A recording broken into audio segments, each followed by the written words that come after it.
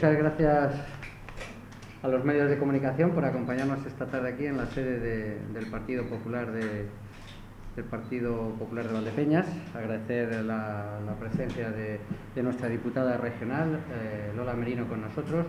y de los diputados que, bueno, pues que como no estamos de, vacaciones, pues es una jornada más de trabajo para el Grupo Popular de la Diputación. ¿no? Y hoy en, la campaña de trabajo que nos ha impuesto nuestro, nuestro presidente Paco Núñez, pues eh, teníamos que, visitar diariamente a localidades y hoy pues es un placer estar aquí en la ciudad del vino, en la ciudad de Valdepeñas, acompañando a a Cándida Tercero y a, y a su equipo en, en el ayuntamiento. La verdad es que, bueno, para nosotros es, es, una satisfacción estar aquí con ellos y sobre todo lo que a mí me corresponde es agradecerles, agradecerles el trabajo que están haciendo eh, desde el Partido Popular de Valdepeñas por Valdepeñas, ¿no? Y yo estoy convencido que están sembrando el fruto que van a recoger en, en un futuro. Sinceramente, así lo creemos, ¿no? Y evidentemente también que sepan que sepan que tienen todo nuestro apoyo al trabajo que están desarrollando y espero y deseo que ese apoyo y esa, eh, ese buen hacer que están haciendo sea también compartido por los afiliados y simpatizantes de, Valdepeñas. Gracias, Cándida, gracias por vuestro trabajo, gracias al grupo municipal que te acompaña y espero y deseo que, todo lo que estáis trabajando, que todo lo que os estáis esforzando por Valdepeñas y sus vecinos tenga ese, ese recojáis el fruto de este, de este gran trabajo. Y, yo nada más que decir, o sea, paso la palabra a ti. Vale. Pues muy bien. pues yo agradeceros eh, a todos los que estáis, a los, compañeros diputados de Diputación que, y a Lola Merino, por supuesto, nuestra portavoz en las Cortes de Castilla-La Mancha, que, que hayáis pensado en Marlepeñas hoy para visitarnos y para, y para que analicemos el trabajo que estamos realizando desde el Grupo Municipal y, bueno, y, con vuestro apoyo y con vuestra tutela, que eso también es muy importante y el respaldo que sentimos con vosotros es, indudable. Y por otro lado, pues yo quería aprovechar la ocasión, ya que estáis aquí y ya que tengo los medios aquí delante, pues para lamentar como en estos días, eh, pues Valdepeñas y nuestro alcalde han estado en, en todos los medios de comunicación a nivel nacional por las faltas de respeto y de educación cuando se dirige especialmente hacia mi persona, que no sé si, si es porque soy mujer, porque realmente le digo cosas que no quiero escuchar o porque igual eh, pues a lo mejor él lo diría o, querría que yo actuara de otra manera y no lo está consiguiendo, como por ejemplo que me marchara del ayuntamiento, que ese no es mi objetivo. Quiero decirle y trasladar a todos mis conciudadanos, a todos los valdepeñeros, que el alcalde puede humillarme, puede hacer lo que considere hacia mi persona en los plenos, desprestigiándome a mí, pero que no solo me desprestigia a mí,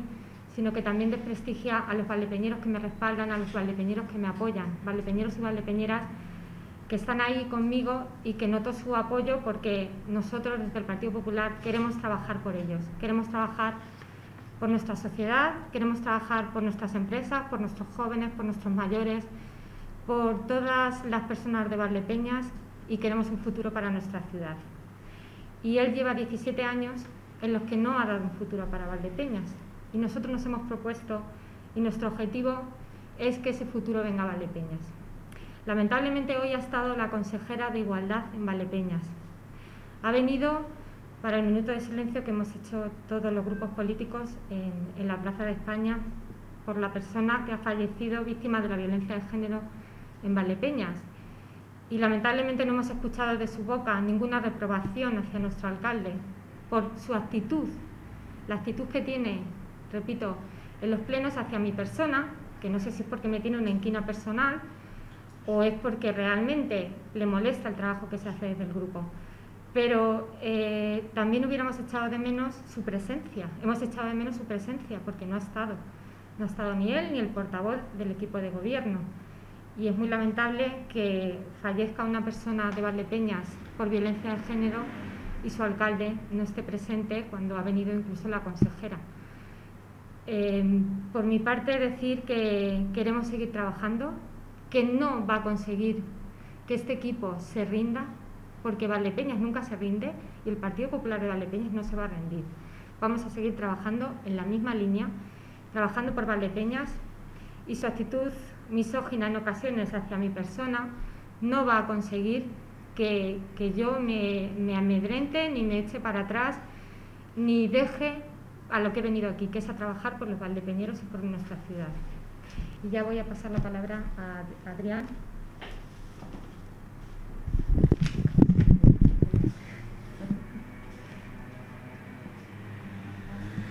Bien, pues buenas tardes y muchísimas gracias a los medios de comunicación, como no puede ser de otra manera, pues eh, hoy en un 13 de agosto, un día que algunos se lo toman como, vacaciones, como por ejemplo pues, eh, algunos miembros del gobierno de Castilla-La Mancha o en este caso el alcalde de Valdepeña, que ante la presencia hoy de un alto cargo de la Junta de Comunidades, pues le ha dado una vez más la espalda a la ciudad de Valdepeñas. Acabamos de oír a la próxima alcaldesa de Valdepeñas, a Cándida, y se ha notado en su intervención. Lo ha dicho de una manera muy pausada, pero muy clara. La actitud misógina del alcalde de Valdepeñas no va a poder con el trabajo que está haciendo el Grupo Popular en el Ayuntamiento de Valdepeñas y con el trabajo que está llevando al frente del mismo la portavoz y compañera en la Diputación Provincial de Ciudad Real. Y yo, como portavoz del Grupo Popular, compañero, lógicamente, de Cándida en la Corporación Provincial y como alcalde de Malagón, hoy vengo a decir que la actitud del alcalde de Valdepeña no es que sea impropia de un alcalde, es que es impropia de un valdepeñero. El alcalde de Valdepeñas es el alcalde de todos los valdepeñeros y por tanto no puede, no puede ni debe ofender y aprovecharse de su cargo para intentar callar o acallar la opinión del Grupo Popular en el Ayuntamiento de Valdepeñas. Esa actitud no va a ningún lado, no le conduce a ningún lado y, por supuesto, no va a menospreciar y a minusvalorar el trabajo del Grupo Popular en el Ayuntamiento de Valdepeñas. Y venimos a exigirle una rectificación, pero no solamente a él. Yo le exijo al presidente Paje y al presidente de la Diputación de Ciudad Real como compañero de Cándida y como responsable máximo del Partido Socialista en la provincia de Ciudad Real una rectificación y una petición de disculpas a la figura del Grupo Popular en el Ayuntamiento de Valdepeñas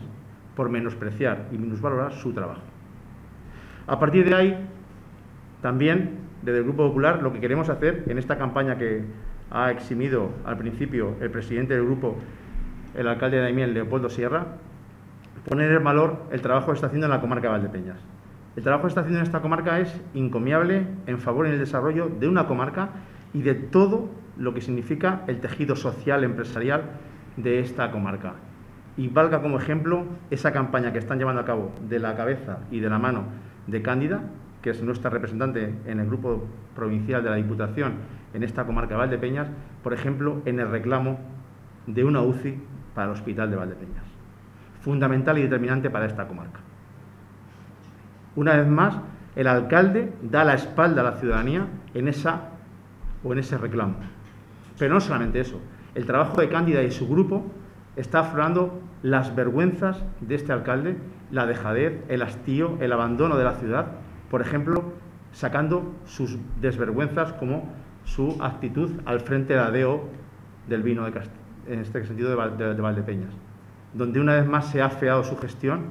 y que la ciudad de Valdepeñas ha sido noticia a nivel nacional por esa dejadez, ese abandono, ese hastío, ese dejarse llevar. Todo ese trabajo lo ha aflorado el Grupo Popular en el Ayuntamiento de Valdepeñas y Cándida al ejemplo. Y es un ejemplo de cómo defender los intereses de la comarca. Y por eso está aquí el Grupo Popular, para poner en valor este trabajo que está haciendo Cándida con esos ejemplos que acabo de citar, como por ejemplo estar al lado de los empresarios, estar al lado del tejido social, está al lado de la sociedad de Valdepeñas y de su comarca reclamando esa UCI, está al lado aflorando las vergüenzas de alguien que lleva 17 años al frente de este ayuntamiento y cómo ha dejado la DO del vino Valdepeñas un referente y un ejemplo. Y además de eso es un ejemplo porque recogerá sus frutos en un futuro más próximo que lejano, como decía Leopoldo, y que estamos ante la próxima alcaldesa de la ciudad de Valdepeñas. Eso se nota y por eso se traslada el nerviosismo del el alcalde. Una vez más, insisto y repito, no ofende quien quiere, sino quien puede. Y en ese sentido, y con esto acabo, decir que en política no todo vale. No todo vale. El pueblo de Valdepeñas es mucho más que una persona, que un alcalde o que un ciudadano. El pueblo de Valdepeñas necesita políticas de acción, políticas de empleo, políticas de vertebración y lo que más importante, un proyecto de futuro que a día de hoy solo pasa por las manos de Cándida. Los fracasos del alcalde son sus debilidades personales. Sus frases cuando intenta insultar, afear lo que es la política de acción del grupo del Ayuntamiento de Valdepeñas, desafortunadas, hirientes y totalmente machistas, fuera de lo que es la acción política, son sus fracasos como alcalde y como político. Valdepeñas, como ciudad, insisto, está por encima del señor Jesús Martín. Bueno, pues acabo yo. Muy buenas tardes y muchísimas gracias por su presencia en esta convocatoria de prensa, donde hoy pues, distintos representantes del Partido Popular de la provincia de Ciudad Real y de Castilla-La Mancha queremos estar en Valdepeñas con Cándida Tercero, nuestra portavoz en el Ayuntamiento de Valdepeñas. Cándida es una mujer comprometida con Valdepeñas, es una mujer del Partido Popular, es una mujer valiente, es una mujer que trabaja por su pueblo, por Valdepeñas, por sus vecinos, y es una mujer con una gran vocación de servicio público. Y es una mujer que en ningún caso se merece el maltrato, la humillación y el machismo al que está sometida continuamente por el alcalde de Valdepeñas y senador socialista por la provincia de Ciudad Real, el señor Jesús Martín. Desde el Partido Popular de Castilla-La Mancha y desde el Partido Popular de Paco Núñez condenamos de una manera rotunda el trato machista y sobre todo de humillación que el alcalde de Valdepeñas y senador socialista por la provincia de Ciudad Real, el señor Jesús Martín, desprende de una manera continua, constante y reincidente hacia nuestra portavoz, Cándida Tercero, en su labor, que hace una labor impecable en el Ayuntamiento de Valdepeñas. Todos los que estamos aquí conocemos la Constitución española y en la Constitución española se recoge un derecho fundamental, que es el de la igualdad. Y el alcalde de Valdepeñas y senador socialista por la provincia de Ciudad Real está vulnerando nuestra propia Constitución española al no respetar la igualdad, en este caso de nuestra portavoz, como mujer y como persona que defiende los intereses de los vecinos de, Valdepeñas en el ayuntamiento de esta localidad. Y hoy, desde el Partido Popular de Castilla-La Mancha, queremos pedir públicamente al secretario general de los socialistas de Castilla-La Mancha y presidente de la Junta de Comunidades, a Emiliano García Paje, que tome cartas en el asunto. Esto no puede esperar más, porque esto es un comportamiento constante, continuo y reincidente esto no ha sido fruto de algo mal interpretado o mal dicho, sino que este alcalde y este senador socialista vuelve a reincidir en ese comportamiento machista y de humillación hacia nuestra portavoz, algo que desde el Partido Popular de Castilla-La Mancha de Paco Núñez no vamos a permitir. Las mujeres tenemos nuestros derechos y vamos a exigir que esos derechos se cumplan y se respeten al igual que se respetan, nosotras respetamos los derechos de todos los demás. Es un derecho fundamental recogido en nuestra Constitución española y, por lo tanto, pedimos al secretario general de los socialistas de Castilla-La Mancha y presidente de la Junta de Comunidades que tome cartas en el asunto, porque es que además les recuerdo que Emiliano García Paje anunció hace poco más de un año, cuando comenzó esta segunda legislatura, anunció la creación de una nueva consejería. La anunció a bombo y platillo y fue la Consejería de Igualdad. Si realmente los socialistas, y si realmente desde la Junta de Comunidades de Castilla-La Mancha y su principal eh, exponente, Emiliano García Paje, defiende y cree la igualdad, que lo demuestre. Ahora tiene la posibilidad de demostrar que realmente defiende la igualdad y que esa defensa es una realidad y no una farsa partidista y sectaria. Por lo tanto, esperamos que ese tomar cartas en el asunto por parte de Emiliano García Paje se produzca lo más pronto posible y con la mayor rapidez posible, porque en este caso se están vulnerando